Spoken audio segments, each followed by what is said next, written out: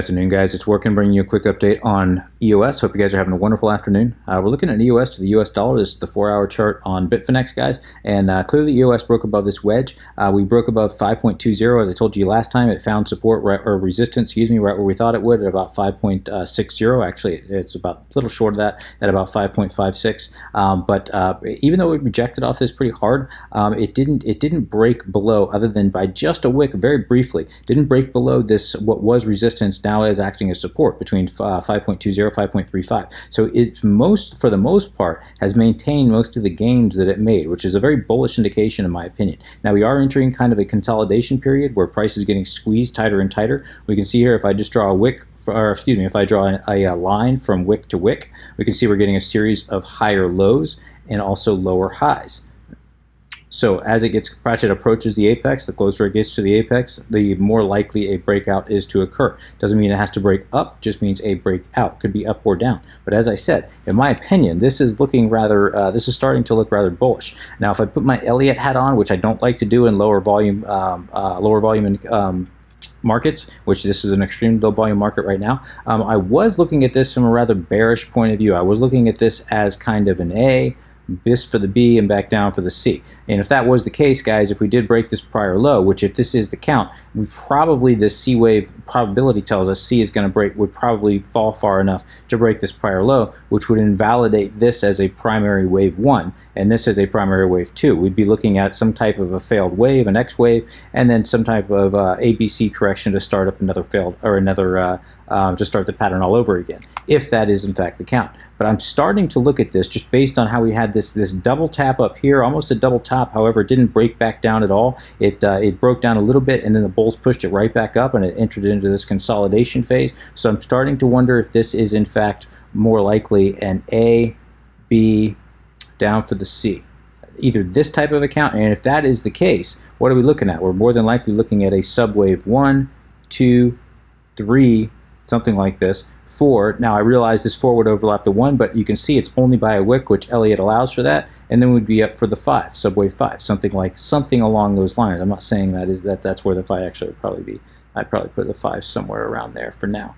Um, but uh, again, I'm not saying that is the count, guys. I'm just saying it's starting to look like it's a real possibility. And this doesn't have to be the count either. I could count this as something like this, a long A, B, and C. Now again, I know I, the A typically has five waves in, B has three, C has five. If I dig in here, guys, could I get five waves out of the A and five waves out of the C and three out of the B if I dig into the 30-minute chart? Well, I can tell you that I can. I've done it, and yes, I can. Is it beautiful? No, it's not. But this market, again, with Elliott, it's it's almost uh, this is why I don't like to trade it um, with in, in, a very low volume market. A high volume market, it works just beautifully. But in a low volume market, it's you know you're almost forcing a count. But if I had to force a count, guys, I'm starting to wonder if this isn't a one, two, three, possibly four, and up for the five. That's a real possibility. If price does break above this 6540, and I do think if we get an impulse um, up off this uh, uh, three, uh, 5.35, if we get a nice influx of volume that pushes it above this 5.60, um, I think it's going to very quickly come into this 5.80 mark, uh, 5.80 to 5.96, possibly testing this descending resistance line, guys. You remember this descending resistance line has been in place since uh, mid-June, and it's been tested numerous times since mid-June. We're looking at the daily. If I went into the four-hour, you'd see that we tested even more. Um, so yeah, that, that's a, that's a very relevant zone. If price can break above that descending resistance line, break above this four, this will be this is going to act as a very strong resistance, guys. No doubt about it. If price does break up in here, I, I do expect it to bounce. Um, even if it does continue to the upside once it corrects, I do expect it to find some resistance here. Um, certainly bounce back. That'd be a nice place to play a quick scalp trade to short it um, from um, somewhere uh, around maybe 5.90, targeting about 5.60, 5.50. I think that'd be a good risk to reward if you're going to short the market. And from that point, it may come right back up. But I'd have a very tight stop because if it does break above this ascending resistance line, I do think there's a very um, high probability we're going to come up into at least minimum of this order block right here um, between uh, 6.40, 6.77, somewhere thereabouts. Possibly this order block up here between $7 and 7.30. And I do believe this order block up here between $7 and 7.30 is going to act as a very, very strong uh, resistance. That is a very good supply zone. You can see it up here, guys. We've got, it broke down, wick, wick, wick, wick, and then just broke completely down. So there's a lot of sell orders that are sitting up here. So if and when price does make it up make it up here, I do think it's going to act as a strong resistance. Wouldn't that be another place if you wanted to short the market to play a quick short? Doesn't mean that it's going to bounce and go back down into a bearish trend. Just means it'll find resistance here. More than likely, we'll have a little retrace um, before it uh, before it continues to the upside, if it continues to the upside.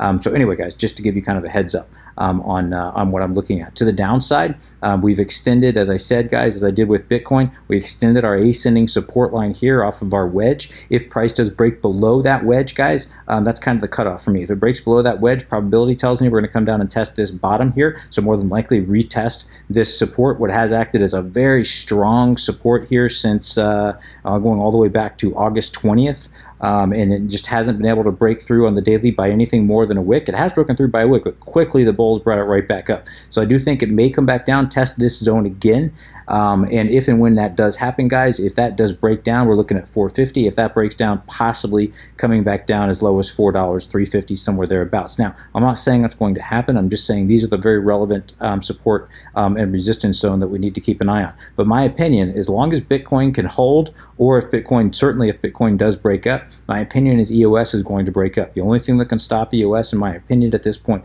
um, is if EOS, if uh, Bitcoin does break down. Um, if Bitcoin continues sideways, um, I think EOS may consolidate a little further, may come closer to this apex, and then just take off. If we look at our um, our uh, RSI, looking at the daily, it's sitting here right around 50, so just a very neutral looking RSI, guys. Stoch RSI is something very similar, um, and the uh, uh, daily MACD has actually just crossed over into bullish territory. So that is a uh, bullish sign. Let's see if that can continue. Uh, if that can continue trending to the upside. One thing that I do like about EOS is anytime that it's crossed over into bullish territory, guys, it has massively uh, on the daily, I should say, on the daily. Um, the histogram has massively trended up, at least here in the recent past. Very, very only all I have to I have to go back all the way to March to find a time when we've trended into bullish territory and then just kind of fell right back over uh, most of the time since uh, you know since early March. Every time it's come into bullish territory, it's just taken off um, at least you know at, at least uh, enough to make a decent profit. Not necessarily at all-time highs, but certainly enough to make a decent profit. So that's something that we're keeping an eye on for now. We're looking at move, uh, looking at our uh, moving averages. This is on the daily. Uh, we can see that price is above this eight-day EMA. It's trying to get above. It's it's finding resistance at the 21-day EMA.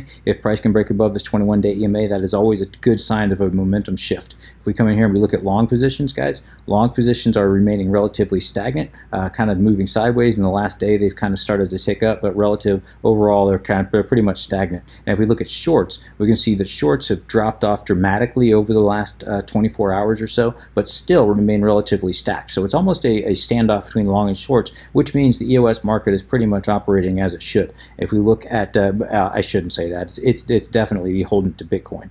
Um, but uh, but as far as longs and shorts are concerned, they're they're pretty relatively uh, they're, relatively stacked. They're pretty even, I should say. Um, looking at the uh, looking at the daily, as I said, guys, we're trying to get above that 21-day EMA. Coming back to the four-hour chart.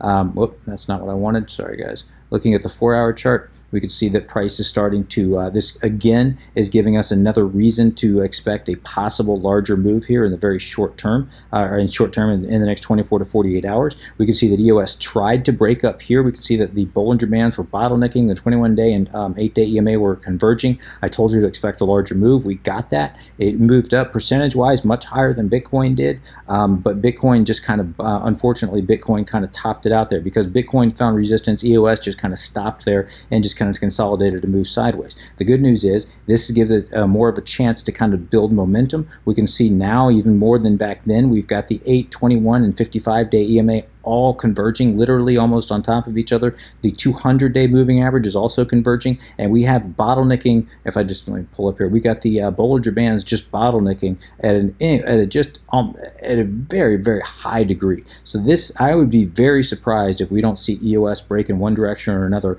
Very very um, uh, uh in, in a much larger move in the next 24 to 48 hours. It just looks that way, guys. Um, and, and the only thing that's gonna and I think the only thing that will prevent it from breaking up is if Bitcoin Bitcoin does break down. So anyway, I'm going to go ahead and wrap it there. If you have any comments, questions, suggestions, please uh, let me know in the comment section below. As always, I would appreciate an upvote, resteem, or a like, depending on where you're viewing this. Until next time, guys, please trade safe. Take care of yourselves. This is Workin. Signing out.